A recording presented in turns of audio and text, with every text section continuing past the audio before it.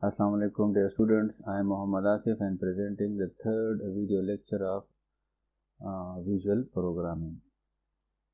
But before starting our new lecture, let's take a quick recap that what we have learned in our previous lecture. In our previous lecture, we have learned that what is .NET framework. After this, we have learned the CLR which is Common Language Runtime.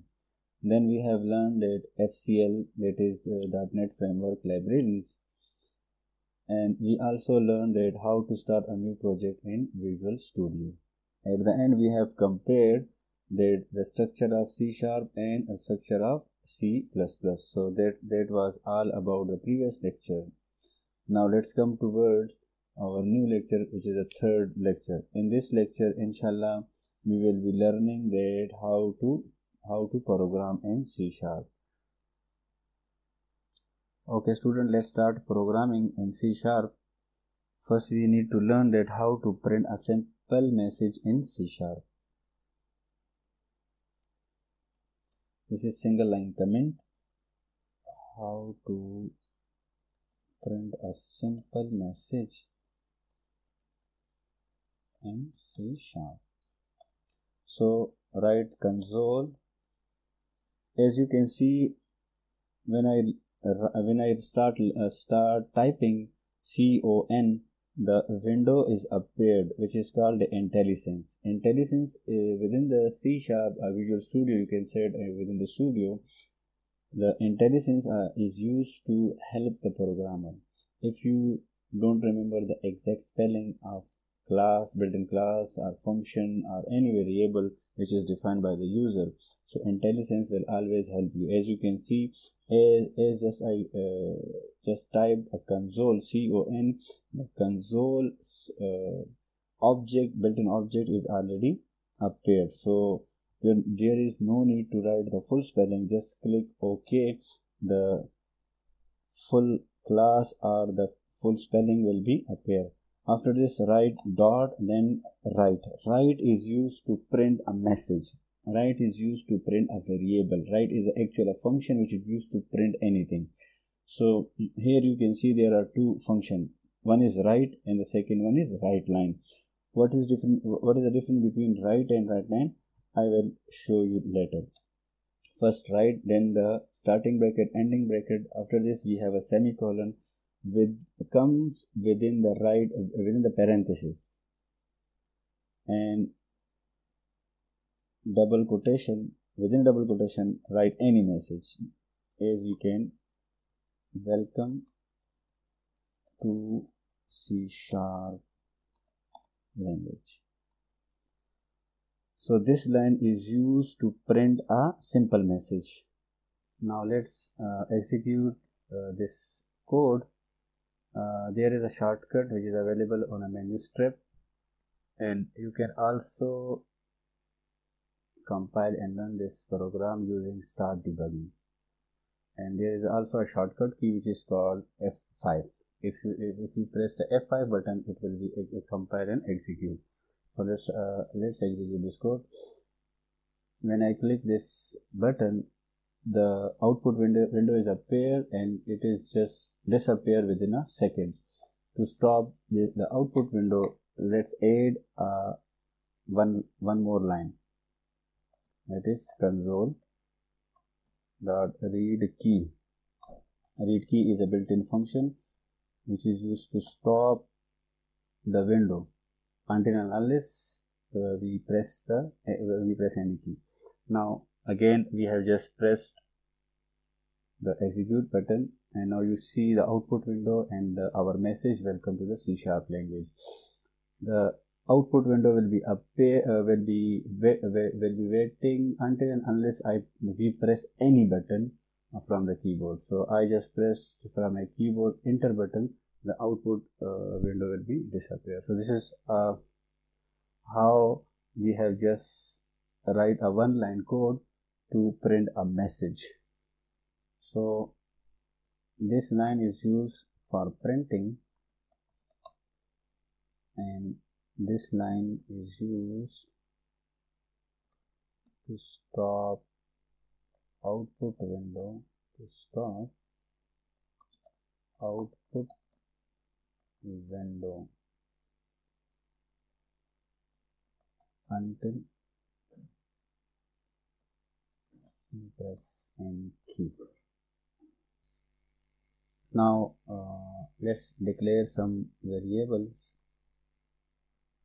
Declaration of variables.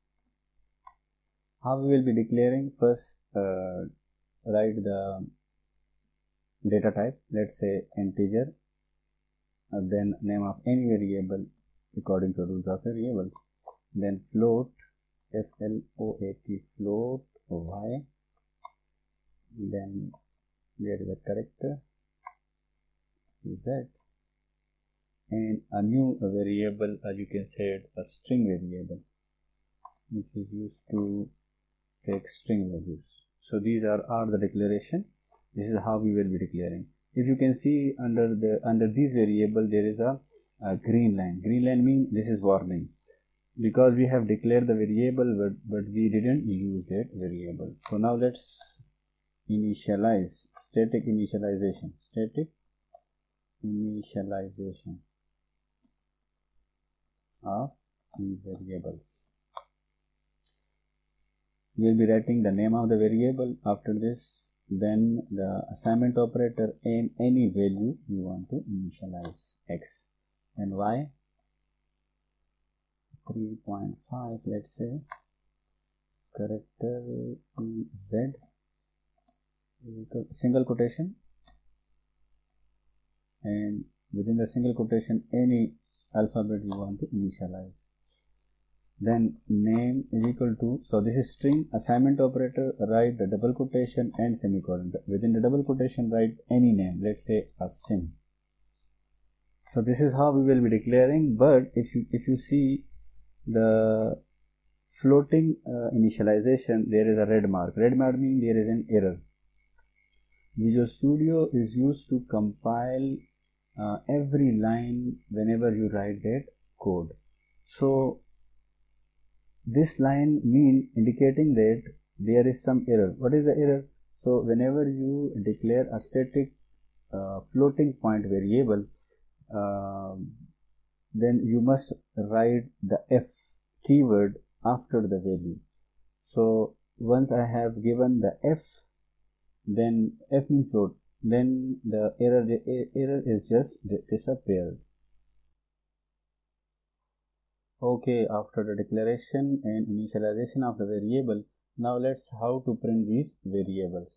Write the console dot write write function within the write function put any variable you want to print it.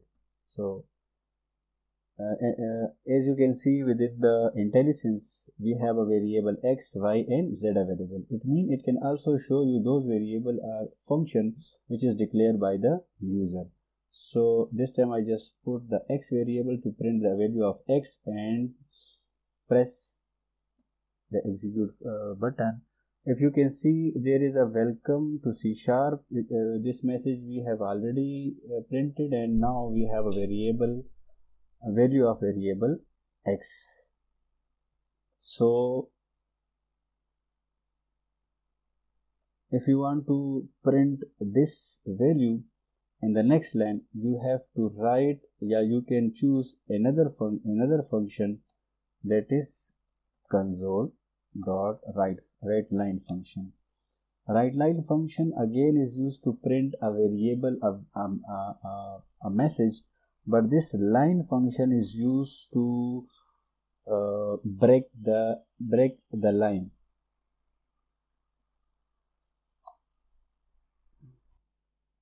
So the write line function is used to print the message or value and also move the cursor. At the start of the line. While write function only prints the message or we can say the value now let's execute this code. And you will see the difference. That now you can clearly see the cursor is now at the start of the second line. So let me more clear this. For this remove the comments. Put the line over here. And remove line from this. And put x over here and y over there. Now it will print first the message which is welcome to C sharp then it will print the value of x. After printing the value it will come to the start of the next line and print the y. Now let's see. Again you you can clearly see welcome to the C sharp then and you can see the value of x the value of x and after applying the line function it put the cursor at the start of the next line and then print the value of y.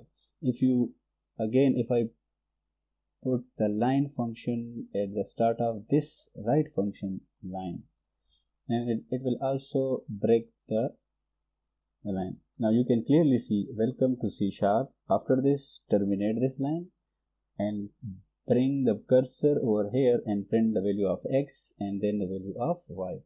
So this is the main difference between the write line function and the write function.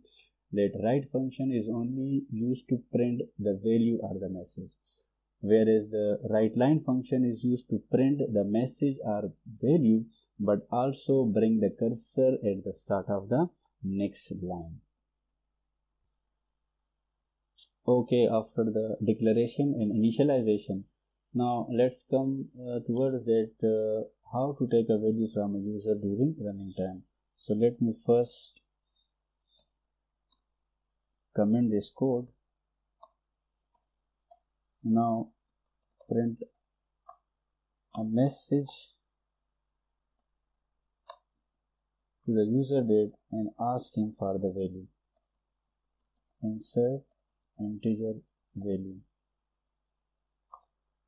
Now, how to initialize the value? First, put the variable in which you are storing the value, then write the console dot uh, uh, read line. Read line function will be used to take a value from the user.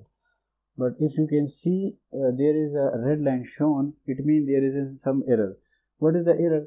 So students, whenever we will be taking a value from a user during running time, the C sharp will consider that, val that value as a string value. But this time we are taking it as a, uh, as an integer value. So we will be converting that value into the integer or float accordingly. So again, if uh, the, the if you are taking a value from a user during running time, C sharp always consider any value whether it is a string value or integer value or character value they always consider it as a string value. So what to do? We have to convert that that string into the into the integer or float or you can say it into the character accordingly. So this time we are taking it as a um, integer. So we will be converting this value. So how to convert? The parse function will be used. How to use this function? Let's see integer. So within the IntelliSense you can see there is a int, int, uh, int 16 int 32 64 it means how many bits you want to reserve for it for this value. So this time i am using 32 dot parse. Parse is a built-in function again which is used to convert the string value into the integer or float. So and within the parse we are uh, passing the, uh, the, the read line function as a argument. So with the help of read, read line function, we will be taking the value, then it will be converting the value using parse function into the integer and storing it into the x. Now again console dot write line again put a message insert float value.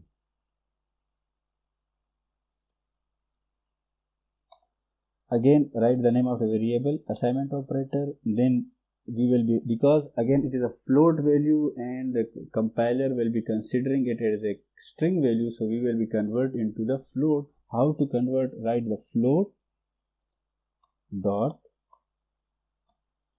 parse function will always be used for the conversion and then as a argument write console dot read line function. So using read line we will be taking a value from a user during running time then we will be converting with the help of parse function into the float and storing into the while so after this now let's take a character value. Z is equal to so again character is not a string so we will be converting it. How to convert? Character dot parse.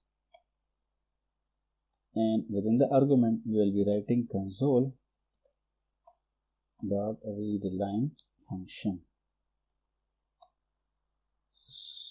Also put a message for a user control C and control V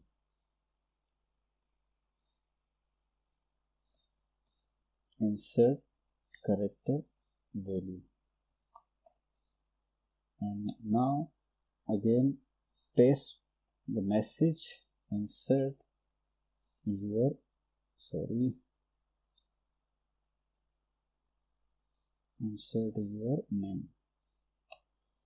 Again name storing it into a name variable name is equal to now there is this time there is no need to convert that value because at the running running time it always considered as a string value. So we will be just writing console dot read line. So again there is no need to convert the value.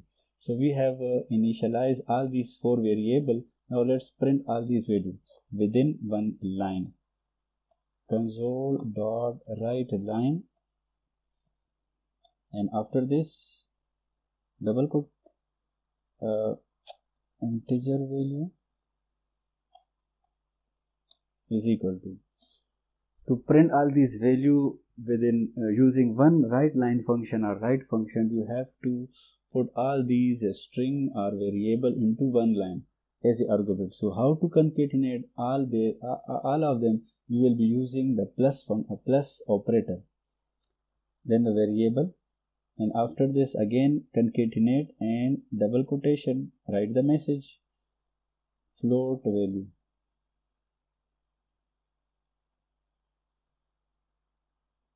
equal to concatenate with a y again concatenate double quotation character value is equal to plus again concatenate z with the plus again plus mean concatenation operator. And after double quotation uh, your name is equal to concatenate with the variable. Variable name is so if we print this value these values you can see uh, 12 uh, insert the float value 4.5 let's say insert the character value and what is your name m-u-h-a-m-m-a-d muhammad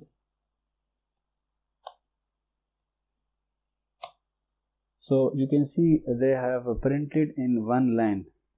The value is 12 the float value 4 if you want to uh, break all these uh, values uh, and you want to print on a new line so you have to put a special escape sequence which is called uh, the slash n. So slash n will be used to print all these messages and variable in a new line.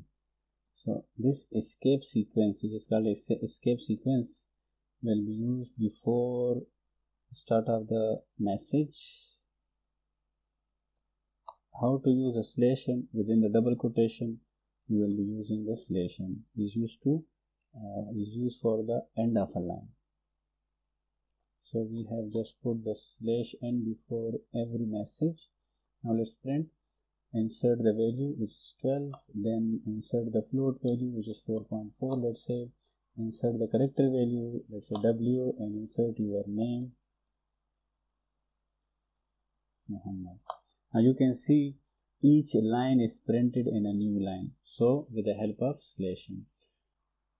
So students uh, so far we have learned that how to print a message within the C sharp with the help of write line function then we have declared the variables of different data types. Then we initialize these variables within the source code.